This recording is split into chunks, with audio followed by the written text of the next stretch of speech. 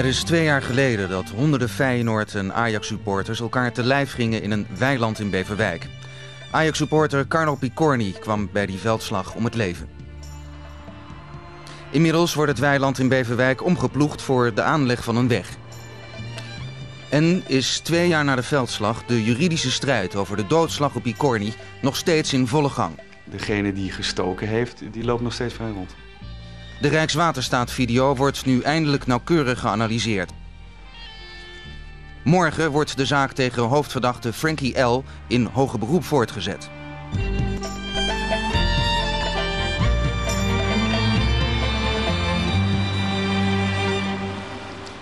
Advocaat van der Biezen bezoekt zijn cliënt Frankie L. in de gevangenis in Graven.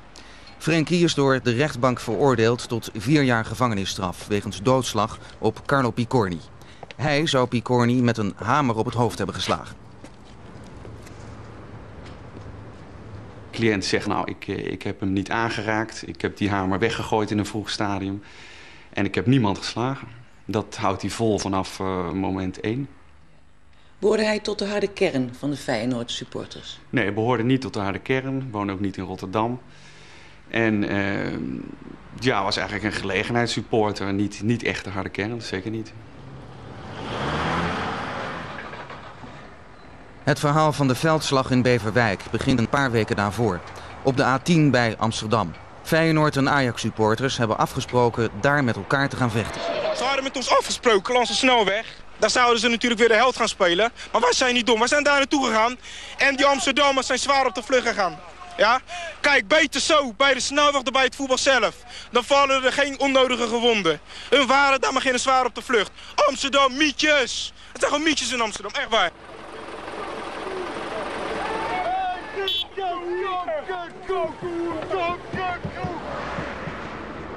Een paar weken na deze rel krijgt de politie in Haarlem bericht dat er opnieuw sprake zou kunnen zijn van een geplande vechtpartij tussen Ajax en Feyenoord supporters. Dit keer in de buurt van Alkmaar. De hoofdcommissaris besluit tot beperkte politieinzet. Op zondag 23 maart om 12 uur s middags verzamelen zich 200 Feyenoord-hooligans bij het brugrestaurant aan de A4. Er wordt veel bier gedronken en cocaïne gesnoven, door de hooligans rellenpoeder genoemd. De hoofdcommissaris schrijft in een proces verbaal... Ik overwoog hen bij het brugrestaurant tegen te houden, dan wel op wapens te controleren. Maar gezien de vele andere bezoekers in het restaurant en het beperkt aantal ME'ers, zag ik daarvan af. De politie volgde de Feyenoord-kolonne. Die ging naar het noorden, op weg naar uh, Alkmaar, waar ze Feyenoord een wedstrijd tegen AZ zou spelen. En tegelijkertijd kwamen berichten van uh, de Zwarte Markt, waar Ajaxiden zich aan het verzamelen waren. De Zwarte Markt in Beverwijk. De politie wil voorkomen dat het gevecht op de Zwarte Markt in Beverwijk plaatsvindt en sluit de Velsertunnel af. De Feyenoorders worden omgeleid via de A9. De hoofdcommissaris schrijft in zijn procesverbaal... Naar ik vermoeden vond er tussen beide supportersgroepen gsm-verkeer plaats. Als je dan het rapport leest van de commandant van de ME... Uh, dan, dan is er iets heel raars aan, namelijk dat het volledig beschouwd wordt als een openbare ordeprobleem. Er is geen enkele uh, indicatie van uh, misschien gebeuren hier strafbare feiten en moeten we later een opsporingsonderzoek zitten. Nee, het werd geheel beschouwd als een openbare ordeprobleem. De Ajax-supporters op de Zwarte Markt verzamelen zich op parkeerterrein 1 en lopen naar het weiland bij de Noorderweg.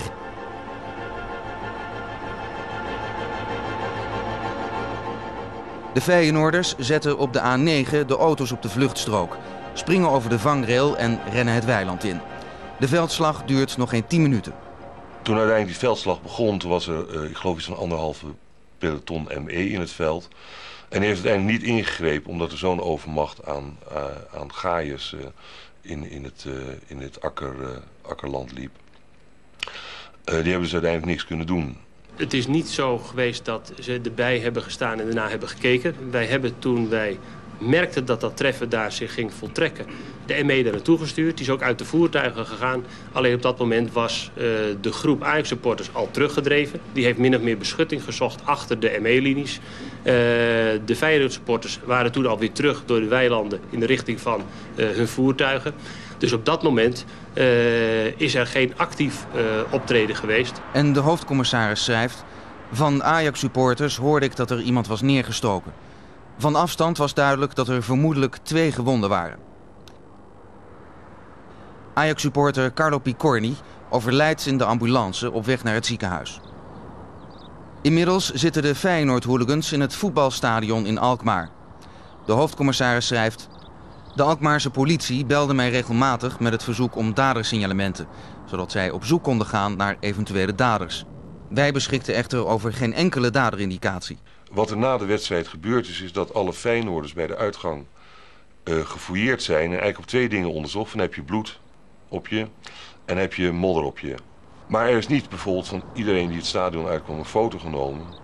en zijn rijbewijs gevraagd of zijn paspoort... zodat je weet welk hoofd bij welke naam hoort.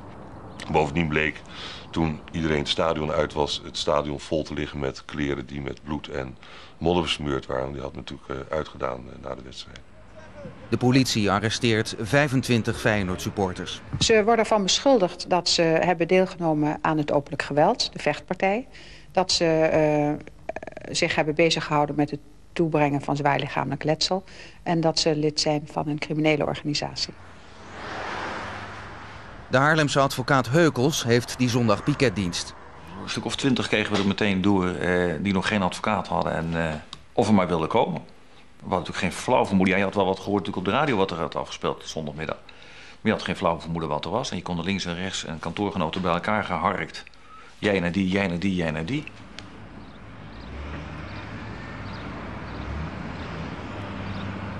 De uren en dagen na de vechtpartij zoeken ME'ers in linie het terrein af naar wapens.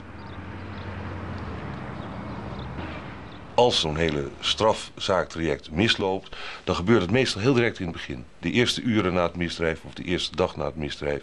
En dat is ook typisch wat hier gebeurt.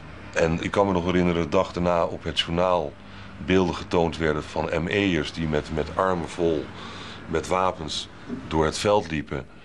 En toen dacht, toen dacht ik van, dit gaat dus mis. Want als er bloed opgezeten heeft, weet je dus achteraf niet meer van welk wapen precies dat bloed afkomstig is. En je kan niks meer met vingerafdrukken doen als je geen handschoenen als politieman aan hebt.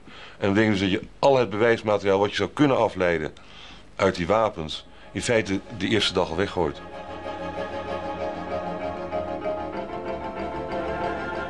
Vier dagen na de veldslag wordt Carlo Picorni begraven. De patholoog-anatoom die sectie verrichtte op Picorni constateert...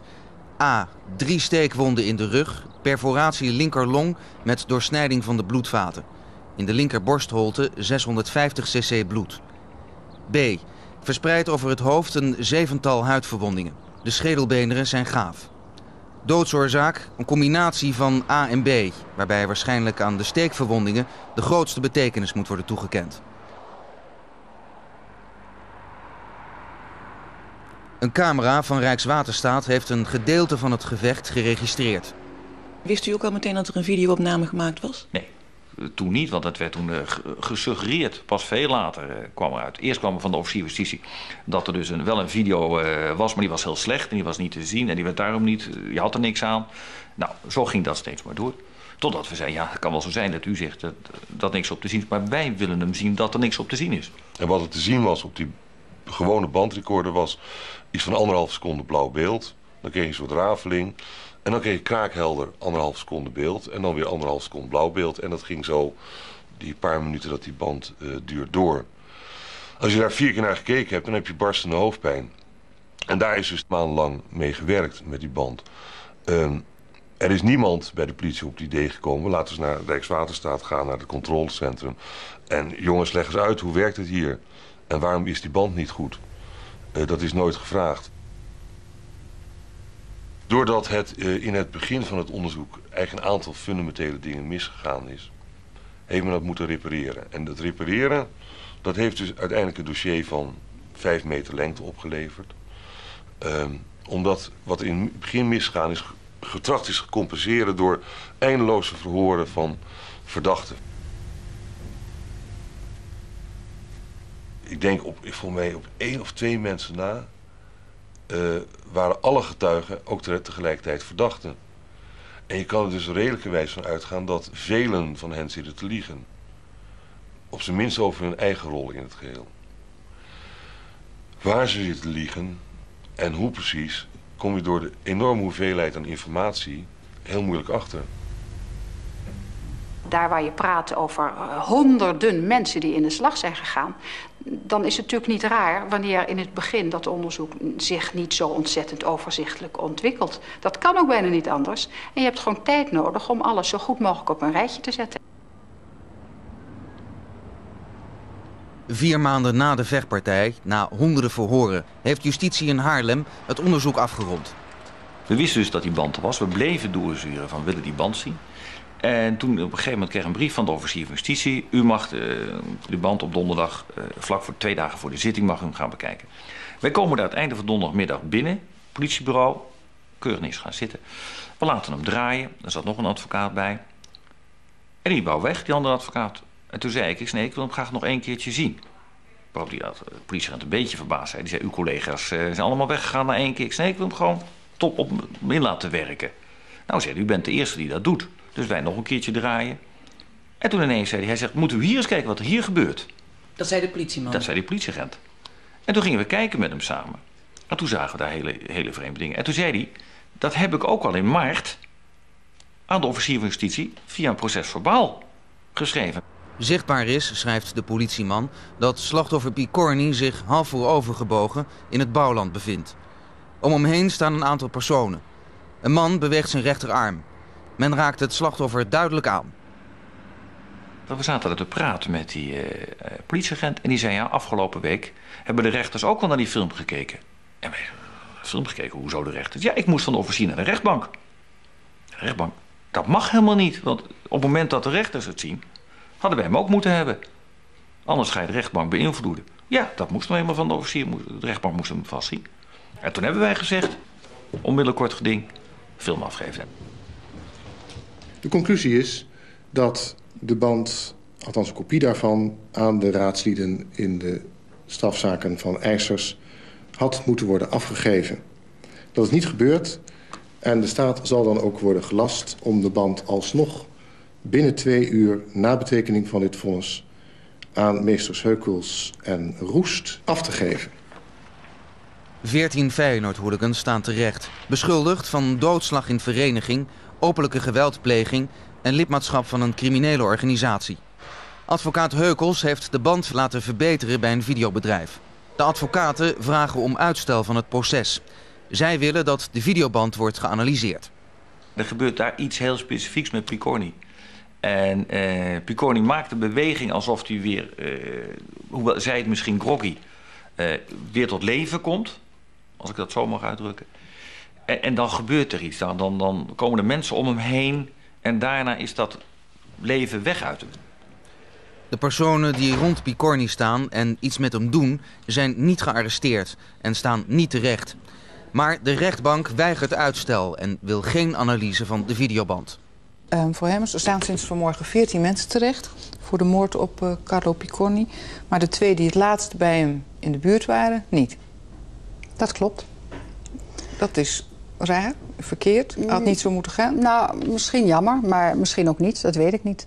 Kijk, de band geeft weer de mensen die naar huis gaan... en dat incident wat je inderdaad, uh, wat je inderdaad ziet. Maar het is toch een heel essentieel moment? Ja, dat is een essentieel moment. Maar we hebben twee mensen waarvan we hm. graag hun verklaringen zouden hebben willen horen... niet binnen kunnen krijgen. En, ik zeg erbij, we hebben nog heel veel andere mensen ook niet binnen kunnen hm. krijgen... die misschien wel mee hebben gedaan aan het geheel. Kijk, het onderzoek is nu afgerond. En uh, wanneer... Uh, advocaten met deze twee mensen aankomen dragen en zeggen we hebben ze en alsjeblieft, dan zullen we dat onderzoek hm. natuurlijk weer heropenen. Maar hm. we hebben geprobeerd deze mensen te vangen, te pakken, want daar zijn we uiteindelijk voor. Het is niet gelukt en het onderzoek is afgerond. Er moest voordat de voetbalcompetitie uh, startte, moest er gewoon uh, een daad gesteld worden. Veroordeeld en zwaar ook.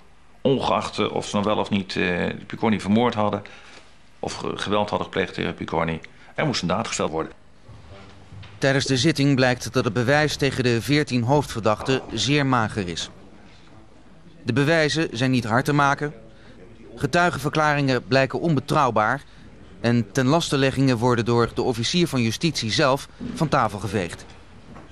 We zijn nog niet op de helft van wat er allemaal gaat gebeuren. En ik zei u al, bij een dergelijk ingewikkeld onderzoek... is het heel moeilijk om de waarheid goed en duidelijk boven tafel te krijgen.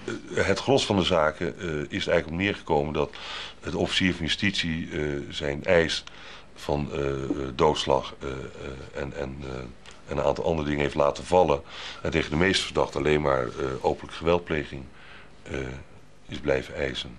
De officier probeert aan te tonen dat alle verdachten lid zijn van een criminele organisatie. Een van de verdachten is op vrije voeten wegens een vormfout. Eén verdachte is niet opkomen dagen.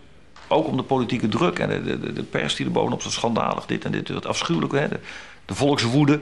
En die was natuurlijk op zich terecht bij het begin. Ik denk dat justitie verkeerd heeft ingeschat en gezegd van nou we gooien de hele Santenkamer ervoor. En niet eraan heeft gedacht dat we het later ook nog eens moesten bewijzen. Ze hadden echt gedacht van nou dat, dat, uh, dat lappen we even snel. Kijk maar eens, iedereen is zo kwaad. Er is geen advocaat die wat durft te zeggen. Volgens de officier is Leonardo P. schuldig aan doodslag. Hij zou Picorni met een ketting hebben geslagen. Frankie L. zou Picorni met een hamer hebben geslagen. Zijn zaak wordt uitgesteld voor nader onderzoek.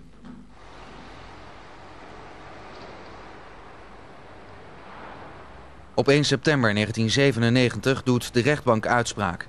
Het is een grote teleurstelling voor het Openbaar Ministerie. De rechtbank vindt niet dat sprake is van een zodanig gestructureerd samenwerkingsverband gericht op het plegen van misdrijven... om hier van een criminele organisatie te kunnen spreken zoals de wetgever heeft bedoeld. De Feyenoord-hooligans krijgen allemaal lichtere straffen dan werd geëist. Twee van de veertien zijn volgens de rechtbank schuldig aan de dood van Picorni. Marco P. krijgt vier jaar, maar is op vrije voeten vanwege een vormfout. Ook Leonardo P. krijgt vier jaar. De rechtbank acht bewezen dat hij Picorni heeft geslagen met een ketting. Leonardo gaat in hoger beroep. Er zijn een, een, een, aantal belastende verklaringen over hem in het dossier. Een aantal verklaringen zijn gewoon heel algemeen. Die verklaren over een jongen die met een ketting uh, Picorni sloeg. Nou, er zijn verschillende kettingen gevonden in het veld. Um, er zijn verschillende mensen dus ook die met een ketting hebben geslagen. Maar is de man met de ketting die zij hebben gezien, is dat ook mijn cliënt geweest? Ja, dat blijft een heleboel gevallen volstrekt onduidelijk. Um, maar er is in feite gewoon maar één iemand die heeft gezegd... ja, uh, dat, was, uh, dat was Leonardo en uh, die herken ik ook van de foto... en ik kan me daar niet over vergissen. Maar goed, die jongen die zat weer zo onder de kook, de speed en, en, en de drank... dat je je helemaal moet afvragen. Hè? Het was al een super chaotische situatie op het moment. Het was echt een soort middeleeuwse veldslag. Um, dan ben je ook nog zwaar onder invloed... En dan zou je wel heel erg goed en duidelijk hebben kunnen zien wat er zich daar heeft afgespeeld. Hè? Daar, daar zet ik mijn vraagtekens bij.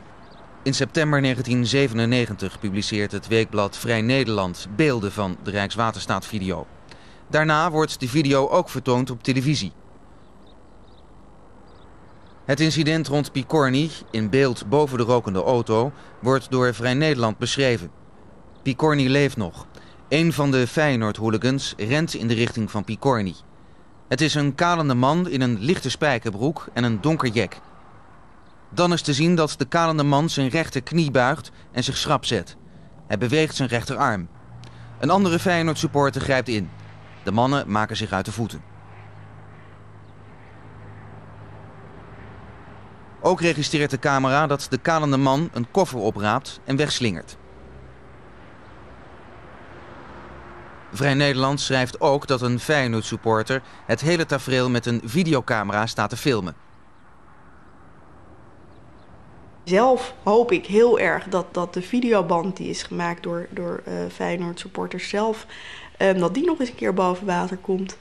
Want daar is waarschijnlijk veel beter dan uh, op de Rijkswaterstaatband te zien wat er nou precies is gebeurd. En mogelijk zit daar dus ook het ontlastende materiaal in voor mijn cliënt. Maar ja, uh, of die band er nog is, dat, dat weet ik niet. Maar die band, Hij is wel gemaakt. Die band is wel gemaakt. Die band is ook vertoond. Zo gaat het gerucht in een café waarbij de, de, de, de rolluiken zijn neergelaten en allemaal helemaal in het, in het geheim.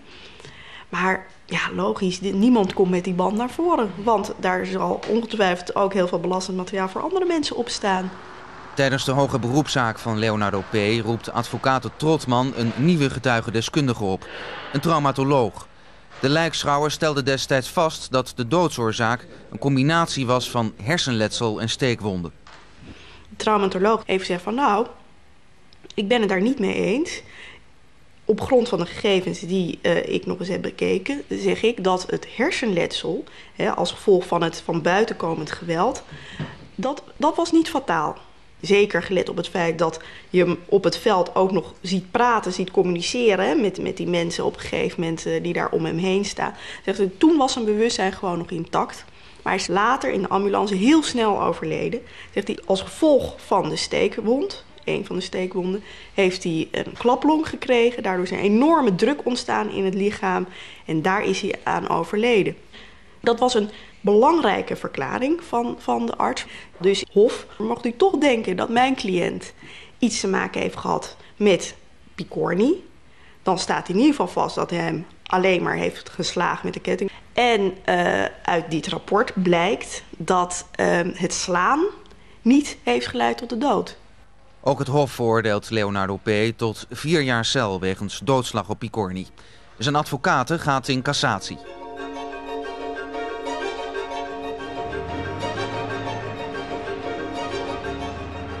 Eind 1997 wacht één Feyenoord-supporter nog steeds op zijn berechting. Frankie L. Zijn zaak werd uitgesteld omdat het onderzoek nog niet was afgerond.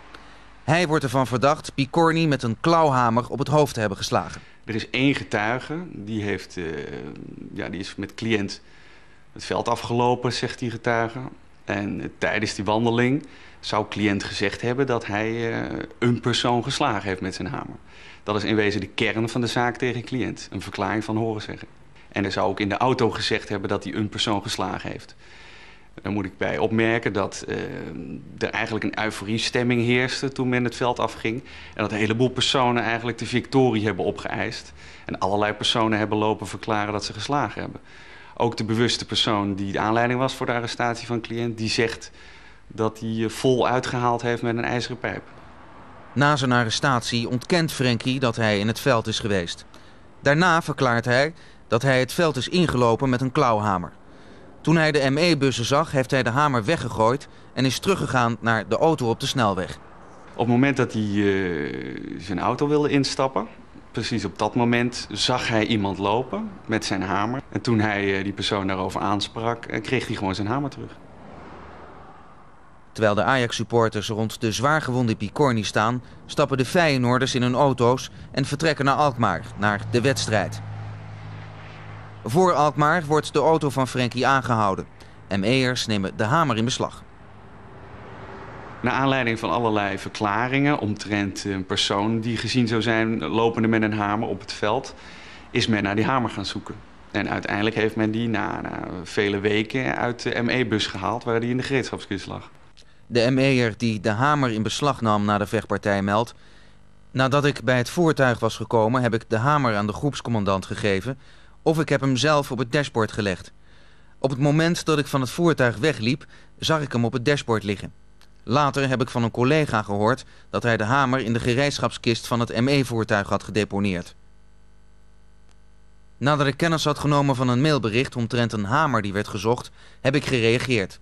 Ik heb de hamer uit de gereedschapskist van het ME-voertuig gehaald. Hij is onderzocht in het gerecht laboratorium en er schijnen minuscule spatjes bloed op te zitten. En die zouden van Picorni afkomstig kunnen zijn. Zouden kunnen zijn? Nou, er is natuurlijk altijd weer een, uh, een kans dat uh, de berekening niet juist is, dat onderzoek niet juist is. Maar er is een grote kans dat die van Picorni zijn. Het is mogelijk dat daar uh, bloedspatten op zijn gekomen door, door voeten, schoenen die er overheen zijn gelopen. Mogelijk is ook dat fouillerende agenten die hamer niet op een juiste manier hebben behandeld. Andere mogelijkheid is dat er in die gereedschapskist iets fout gegaan is. Het zijn minuscule spatjes die vrijwel met het blote oog niet te zien zijn. En er zijn vele mogelijkheden waardoor die op die hamer zijn terechtgekomen. Dan plotseling eind 1997 overhandigt Rijkswaterstaat een duidelijke en heldere videoband aan de politie. Advocaat van der Biesen en Frankie bekijken de band. Frankie ziet op de video de man die hem bij de auto de hamer teruggaf. Hij loopt op de snelweg met de hamer in zijn rechterhand. Advocaat van der Biezen verschijnt met deze beelden in het programma Nova. Frenkie heeft gezegd dat het iemand is met een blauwe jek. En op deze beelden kan je nu zien dat inderdaad een man met een blauwe jek eh, met die hamer loopt. En ik acht met deze beelden aannemelijk dat inderdaad, zoals ook een getuige zegt, cliënt die hamer terug heeft gekregen van een ander. En dan betekent dat zijn verhaal dus betrouwbaar is en kan ik nu ook staven met videobeelden. De man met het blauwe jek meldt zich een paar weken later bij de politie. Hij vertelt dat hij de reportage in Nova heeft gezien en dat hij de persoon is met de hamer. Twee Haarlemse rechercheurs bestuderen de nieuwe Rijkswaterstaat-video. Zij zien wat ook Vrij Nederland zag. Dezezelfde man slaat met een stok op een brandende auto en gooit een koffertje weg. En, melden ze, gezien postuur, kleding en houding van deze persoon... menen wij dat hij dezelfde persoon is die zich bij Picorni ophoudt.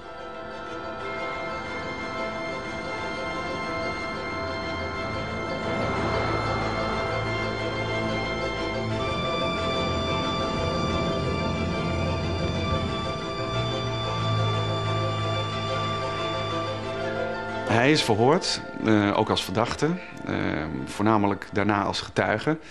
Uh, hij ontkent naast Picorni te hebben gestaan. En dat is in tegenspraak met de verklaringen van de politie zelf. Die zeggen hem te herkennen. De man met het blauwe jek verklaart dat hij niet bij Picorni is geweest. Ik ben het met u eens dat qua kleur die persoon dezelfde kleding droeg als ik. Maar dat zegt mij niets. Bijna een jaar na de veldslag in februari 1998 staat Frankie L. voor de rechtbank in Haarlem. De kalende man met het blauwe jek is aanwezig op de zitting, als getuige. Hij verklaart dat hij de hamer in het veld heeft opgeraapt en teruggegeven aan Frankie. De videoband en wat erop te zien is, speelt voor de rechtbank geen rol. De rechtbank heeft zich eraf gemaakt met de stelling dat het uh, hoogstwaarschijnlijk is uh, dat het letsel daarvoor is uh, ja, toegebracht. En dat daarom de videoband in wezen nutteloos is. De rechtbank in Haarlem veroordeelt Frankie L. tot een gevangenisstraf van vier jaar... wegens doodslag op Picorni. Onder de niet opgespoorde deelnemers bevinden zich mogelijk personen... die hebben deelgenomen aan de doodslag op Picorni. Dat is onbevredigend maar staat aan vervolging en berechting van wel opgespoorde deelnemers aan de vechtpartij geenszins in de weg.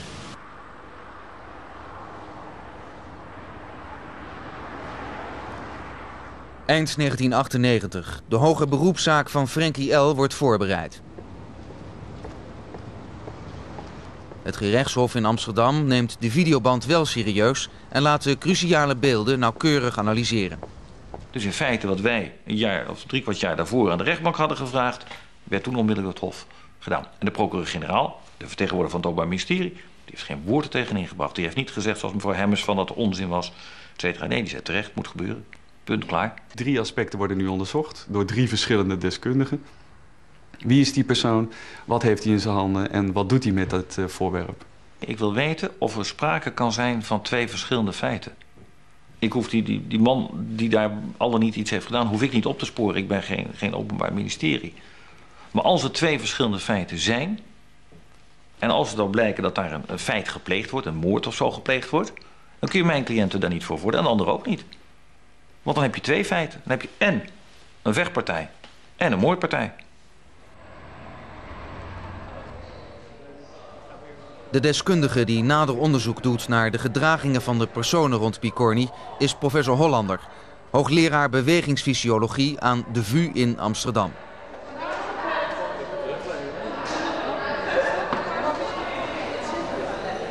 Hier in het gras ligt een figuur. En die ligt in ieder geval op zijn buik. Hier is iemand aankomen lopen en die staat nu zo ongeveer naast uh, zeg maar zijn bovenbeen. Uh, die heeft een uh, staaf of een stok in zijn handen. En maakt daar bewegingen mee die je kunt duiden als het is porren of het is slaan. En die iemand is behoorlijk goed in beeld en je kunt dus zien wat hij doet. En staat een andere figuur in beeld, die zie je alleen vanaf de rug die staat bij het hoofd en de schouders van Picorni. En die persoon staat voorover gebogen over Picorni en hij doet heel duidelijk iets met zijn rechterhand. Ja. En hij aait hem niet over zijn hoofd. Dat kunt u wel vaststellen. Uh, mijn indruk van de beelden tot nu toe is in ieder geval dat de beweging die hij maakt erg weinig met aaien te maken heeft. Een deskundige van het gerechtelijk laboratorium verrichtte onderzoek naar de wapens die werden gehanteerd.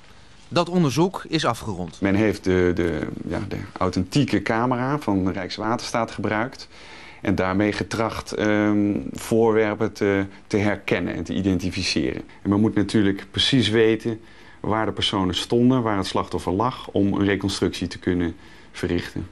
Vervolgens heeft men een selectie gemaakt van de wapens.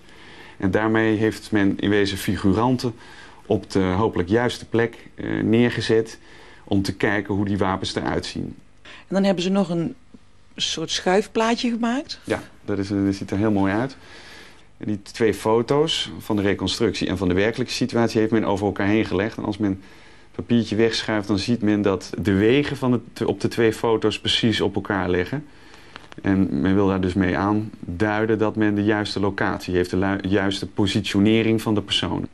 En dan is er nog een stapel andere plaatjes? Ja, dit zijn de individuele foto's uh, van de personen zoals het feitelijk gebeurd is, feitelijk heeft plaatsgevonden. En daar heeft men dus geprobeerd mensen te onderscheiden en wapens te onderscheiden. Ja. En daar zit dus een heel rapport aan vast. Denkt u dat er wel duidelijkheid komt over... Ja, ik hoop het. Um, daar moet ik eerst het rapport van Van Hollander uh, gelezen hebben. En daar zou dus in kunnen staan van uh, wat voor beweging en waarschijnlijk wat voor voorwerp. Wat je kunt doen is bijvoorbeeld de punt van zo'n stok of de punt van zo'n elleboog op ieder beeldje heel nauwkeurig aangeven waar zit die punt op dit beeldje. 1 vijftigste seconde later heb je een volgend beeldje. Waar zit die punt dan? En als je zo een hele hoop beeldjes achter elkaar hebt, dan kun je precies de baan van die stok in de tijd beschrijven. Datzelfde geldt voor de punt van de elleboog. Dus je kunt uitrekenen over welke afstand de punt van de elleboog verplaatst is. En je kunt dus ook uitrekenen met welke snelheid dat gebeurd is. En dan kunt u daaruit concluderen? Dan kun je daar misschien uit concluderen dat dat een stomp of een slag of een steek is geweest. Het derde aspect van het onderzoek betreft de identificatie van de personen rond Picorni. Is de man bij Picorni dezelfde als de man met de hamer? Twee rechercheurs menen van wel. De man zelf ontkent. De deskundigen die hierover uitsluitsel kunnen geven zijn twee Rotterdamse politieagenten die al tien jaar lang de Feyenoord supporters begeleiden, de Button Boys.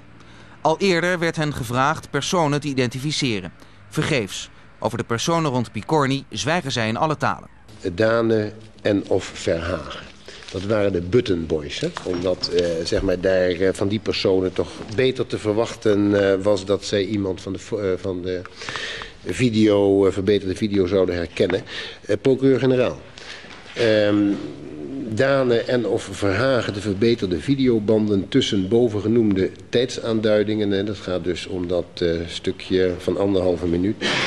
Um, te bekijken met het oog op de identificatie van personen. Uh, wat weet u daarvan? Wat ik weet dat ze de banden bekeken hebben. Er is vanochtend nog telefonisch contact geweest. Uh, Zij hebben of, de banden bekeken? Ja? ja? Of het proces verbaal inmiddels gereed was, zo ja. ja. Of dat voor deze zitting nog gefaxt zou kunnen worden. Dat was nog niet gereed, maar dat komt over enkele dagen. Enkele dagen geleden kreeg Van der Biezen het rapport van de Button Boys. Dane is ziek en Verhagen is uit dienst. Maar heeft de band wel bekeken.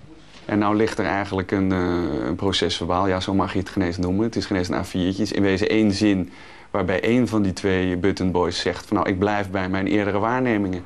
Dus die zegt eigenlijk niks. En de identificatie van de personen die, die rond uh, Picorni staan... die wordt daar toch uh, door bemoeilijkt. En ik weet niet of ze daar nou belang bij hebben of niet... maar het, het is wel een constatering. Het is twee jaar na de veldslag. Morgen wordt het proces voortgezet.